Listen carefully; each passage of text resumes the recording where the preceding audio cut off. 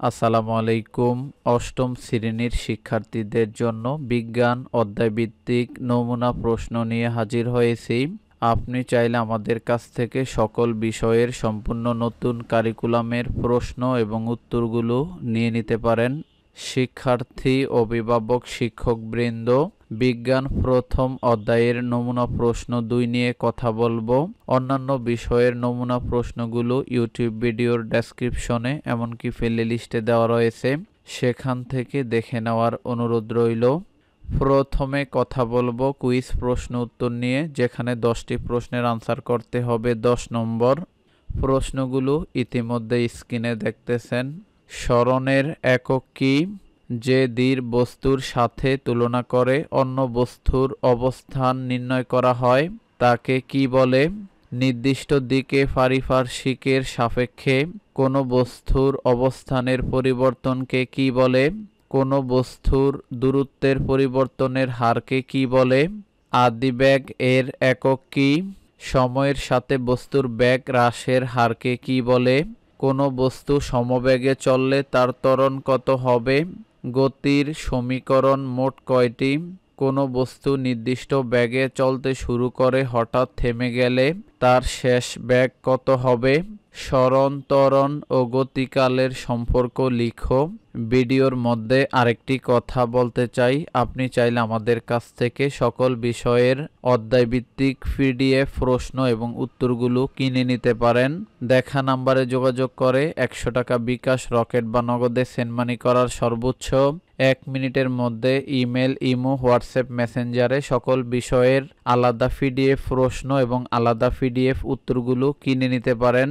এবার আসি দুই নং প্রসঙ্গে। দুই নংয়ের সংক্ষিপ্ত প্রশ্ন, যেখানে দশটি প্রশ্নের আনসার করতে হবে দশ নম্বর প্রশ্নগুলো। প্রসঙ্গ কাঠামো কাকে বলে? মহাকর্ষ কাকে বলে? প্রসঙ্গ বিন্দু কাকে বলে? পৃথিবী কোনটিকে কেন্দ্র করে ঘুরে? ব্যাগ কাকে বলে, তাৎক্ষণিক দ্রুতি কাকে বলে, গড় দ্রুতি কাকে বলে, ত্বরণ কাকে বলে, সমতরণ কাকে বলে, ব্যাগ, বনাম, সময়, লেখচিত্রের যে কোনো বিন্দুতে অঙ্কিত স্পর্শের ডাল কি নির্দেশ করে আমরা প্রতিটা অধ্যায়ে দুটা বা তিনটা করে মডেল কোশ্চেন দিয়ে দিয়েছি। একজন শিক্ষার্থী চাইলে বাসায় বসেও পরীক্ষা দিয়ে নিজেকে যাচাই করতে পারবে। কিছু বুঝতে অসুবিধা হলে দেখা নাম্বারে যোগাযোগ করে বিস্তারিত জেনে নিতে পারেন। কথা বলব তিন নং প্রসঙ্গে। তিন নংয়ে ব্যাখ্যামূলক প্রশ্ন, যেখানে তিনটি প্রশ্নের আনসার করতে হবে। পনেরো নম্বর প্রশ্নগুলো স্ক্রিনে দেখতেছেন। সমদ্রুতিতে চলমান বস্তুর স্মরণ শূন্য হয় কেন? ব্যাখ্যা করো। নিক্ষিপ্ত বস্তুর ত্বরণ ঋণাত্মক হয় কেন? ব্যাখ্যা করো। সমবেগে চলমান কোনো বস্তুর ত্বরণ থাকে না কেন? ব্যাখ্যা করো। এই প্রশ্নগুলো ফলো করতে পারেন। এবার আসি চার নং প্রসঙ্গে। চার নংয়ে দক্ষতা ভিত্তিক মূল্যায়ন প্রশ্নগুলো স্ক্রিনে দেখতেছেন।